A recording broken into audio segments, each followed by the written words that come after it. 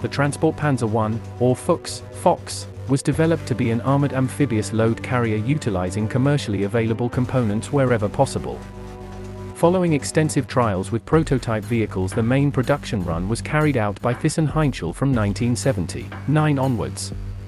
From its origins as a load carrier the fully amphibious TPZ-1 has been modified to meet many other requirements, one being as an APC capable of carrying up to 14 troops seated individually in the load compartment. The German army limits the number of troops carried to 10. A total of 996 Fuchs armored vehicles of all versions were delivered for the German army between 1980 and 1986.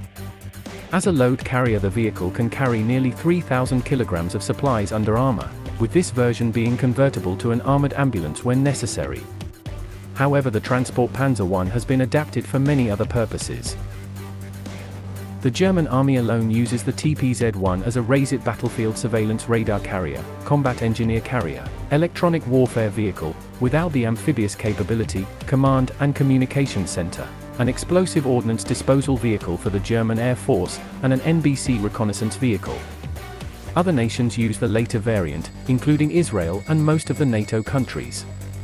The US Army has adopted the NBC vehicle as the M93 Fox and reportedly has over 300 examples.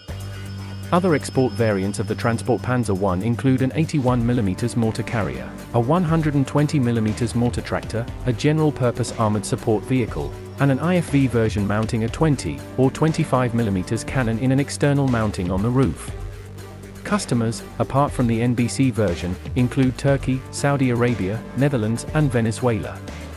In 2014 licensed production of this APC from knockdown kits commenced in Algeria.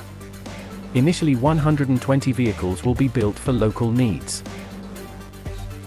However up to 1 200 Fuchs 2 APCs might be produced until 2024 for Algerian army. The armament carried by the Fuchs varies according to the role and user nation. Most carrier versions are limited to a single 7.62mm machine gun, but other models may have various 12.7mm machine gun, or 20mm cannon installations in small turrets of external weapon stations. The Transport Panzer II is an improved version. It can carry up to 4,000 kilograms internally without losing its amphibious capabilities. Variants RASIT Battlefield Surveillance Radar Carrier Combat Engineer Carrier Electronic Warfare Vehicle, without the amphibious capability. Command and Communications Center. Explosive Ordnance Disposal Vehicle for the German Air Force. NBC Reconnaissance Vehicle. This armored vehicle was adopted by the US Army as the M93 Fox. The US Army reportedly has over 300 examples. Armored Ambulance. 81mm mortar carrier.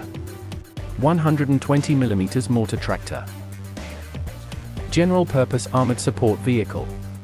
Infantry Fighting Vehicle version mounting a 20 or 25mm cannon in an external mounting on the roof. APE, a specialized 4x4 amphibious engineer reconnaissance vehicle. It was developed for reconnaissance of rivers and lakes. Its main role was to explore the shore and river bed in order to determine their suitability for deep wading by main battle tanks. Around 90% of its automotive components, including engine and transmission, were identical to those of the TPZ, one Fuchs 6x6 armored personnel carrier. However the APE was never adopted by the German army and only prototypes were built. 8x8 version of the Fuchs was developed, but it never entered service. Only two prototypes were built.